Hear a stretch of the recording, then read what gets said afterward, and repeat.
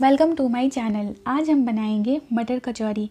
मटर की कचौरी बनाना बहुत ही आसान है। इस वीडियो में हम स्टेप बाय स्टेप बताए हैं कि मटर की कचौरी को कैसे बनाना है। यहाँ हम सोडा का इस्तेमाल नहीं किए हैं, फिर भी यह कचौरी बहुत ही खास्ता बनकर तैयार हो गई है। ये देखिए, कितना खास्ता है। तो चलिए आज की हम इस मज़ेदार मटर की कचौरी की रेसिपी को स्टार्ट करते हैं। सबसे पहले हम डो बनाकर तैयार कर लेंगे। तो यहाँ हम एक कप मैदा लेंगे। आप मैदे की जगह आटे का भी इस्तेमाल कर सकते हैं। अब हम इसमें डालेंगे आधी छोटी चम्मच नमक। फिर इसमें डालेंगे अजवाइन। तो एक चौथाई चम्मच अजवाइन डाल दें। अजवाइन को पहले हाथों से इस तरह से थोड़ा सा क्रश कर लें और उसके बाद मैदे में डाल दें। अब हम इसमें डालेंगे तीन बड़े चम्मच रिफ़ाइन ऑयल। रिफ़ाइन ऑयल की जगह आप घी का भी इस्तेमाल कर सकते हैं। मैदे में रिफ़ाइन डालने से कचौड़ी जो है बहुत ही खास्ता बनता है, यहाँ सोडा डालने की ज़रूरत नहीं है। तो मैदे में आप रिफ़ाइन को अच्छी तरह से, इस तरह से हाथों से पहले मिला दें, फिर इसके बाद पानी डालकर इसका एक डो बनाएँ। तो हाथ में थोड़े से हम मैदे को इस तरह से लेंगे और बाइंड करके देखेंगे। अगर ये बाइंड हो रहा है, इसका मतलब इसका टेक्सचर जो है सही है। तो अब हम इसमें थोड़े थोड़े पानी डालेंगे और इसका एक डो बनाकर तैयार कर लेंगे। एक बार में ज़्यादा पानी नहीं डालें। थोड़ा पानी डालें और इसका एक सॉफ्ट डो बनाकर तैयार कर लें। तो ये देखिए, ये हमारा मैदे का जो डो है, वो बनकर तैयार हो गया है। अब हम इसे ढक देंगे और 10 मिनट के लिए छोड़ देंगे। अब हम चलते हैं दूसरे स्टेप में। सबसे पहले हम एक कप मटर लेंगे। यहाँ हम फ्रेश मटर का इस्तेमाल कर रहे हैं। आप चाहें तो फ्रोज़न मटर भी यूज़ कर सकते हैं। सबसे पहले हम एक जार लेंगे, उसमें हम सारे मटर को डालेंगे। तो मटर को आप पहले अच्छे से धो लें, उसके बाद जार में डाल दें। अब हम इसमें डालेंगे एक हरी मिर्च। हरी मिर्च डालने के बाद इसमें हम एक इंच अदरक का टुकड़ा डालेंगे और ढक्कन बंद करके इसका एक दरदरा पेस्ट बना लेंगे। पानी का इस्तेमाल नहीं करना है। तो ये देखिए, हमारा जो है, मटर का ये पेस्ट बनकर तैयार है। यहाँ हम थोड़ा दरदरा पेस्ट बनाए हैं। अब हम मटर को कुछ मसालों के साथ फ्राई करेंगे। तो चलते हैं स्टेप थ्री में। यहाँ हम एक पैन चढ़ाए। हैं पैन हमारा जैसे ही गर्म हो जाएगा, हम इसमें दो बड़े चम्मच तेल डाल देंगे। तेल हमारा गर्म हो गया है। अब हम इसमें डालेंगे आधी छोटे चम्मच जीरा, एक चौथाई चम्मच सौंफ। सौंफ की जगह आप एक चौथाई चम्मच सौंफ का पाउडर भी डाल सकते हैं। अब हम इसमें डालेंगे दो चुटकी हींग। मटर की कचौड़ी में हींग डालना बहुत ज़रूरी है। अब हम इसमें डालेंगे आधी छोटी चम्मच धनिया पाउडर। आधी छोटी चम्मच लाल मिर्च पाउडर यहाँ हम काश्मीरी लाल मिर्च का इस्तेमाल कर रहे हैं। अब हम इसमें एक तिहाई चम्मच हल्दी पाउडर डालेंगे। गैस का फ्लेम लो रखेंगे और सारे मसालों को हम बस एक मिनट तक फ्राई कर लेंगे। गैस का फ्लेम लो रखना है और बस एक मिनट तक इसे पकाना है लो फ्लेम पर। एक मिनट के बाद हम देखेंगे कि हमारा मसाला थोड़ा फ्राई हो गया है।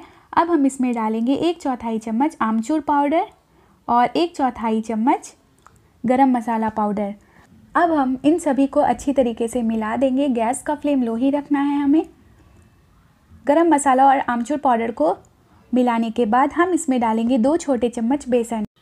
बेसन डालने से कचौरी में बहुत ही अच्छा टेस्ट आता है।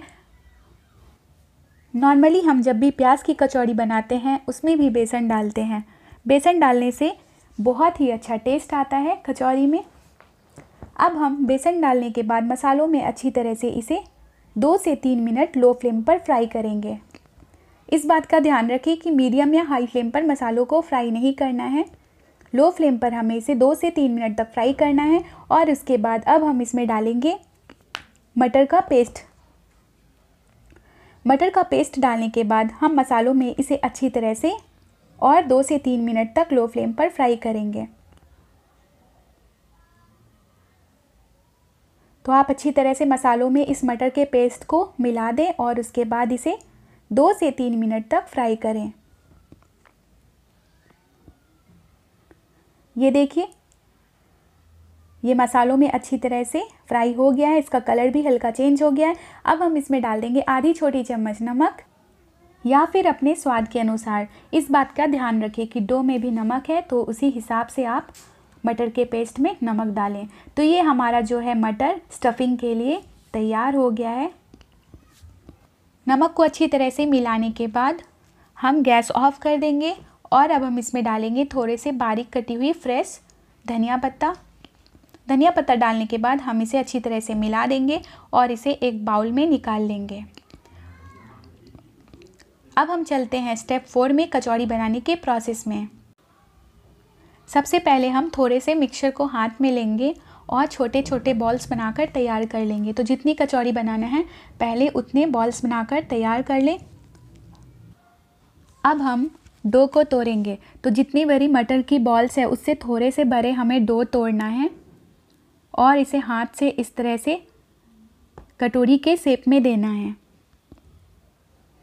ये देखिए, इसी तरह से आप गोल घुमाते रहें और उसके बाद कटोरी के सेप में बनाएँ। अब हम इसमें एक बॉल को डाल देंगे और इसे इस तरह से चारों तरफ़ से पकड़कर इस तरह से पैक कर देंगे। अच्छे से इसे चिपका देना है ताकि ये खुले ना। और ये एक्स्ट्रा जो डो है, इसे निकाल देंगे और फिर इस तरह से आप इसे हाथों से इस तरह से हल्का दबा दें। आप चाहें तो हल्का बेलन से भी बेल सकते हैं और नहीं तो इस तरह से भी। तो ये देखिए, हमारा कचौड़ी जो है बनकर तैयार हो गया है। इसी तरह हम सारे कचौड़ी को बनाकर तैयार कर लेंगे। इस प्रोसेस से कचौड़ी बनाने से, कचौड़ी बनाने में बहुत ही आसानी होती है। तो ये देखिए, हमारा सारा कचौड़ी बनकर तैयार हो गया है। अब हम चलते हैं फाइनल प्रोसेस में, इसे फ्राई करने के लिए। कचौड़ी फ्राई करने के लिए हम यहाँ तेल चढ़ाए हैं। तेल हमारा गर्म हुआ है या नहीं, हम थोड़े से डो डालकर चेक कर लेते हैं। तो ये देखिए, तेल हमारा मीडियम गर्म है। तो बस हमें इतना ही गर्म चाहिए तेल। अब हम क्या करेंगे, सारी कचौरी को तेल में सावधानी से डाल देंगे। गैस का फ्लेम लो मीडियम करेंगे और लो मीडियम फ्लेम पर हम इसे फ्राई करेंगे। हाई फ्लेम पर इसे फ्राई नहीं करना है। कचौरी को हमें लो मीडियम फ्लेम पर फ्राई करना है और इसे हम सावधानी से इस तरह से पलटेंगे, क्योंकि ये बहुत ही खासा बनता है। ये देखिए बिना सोडा के भी ये कितना फूल गया है कचौरी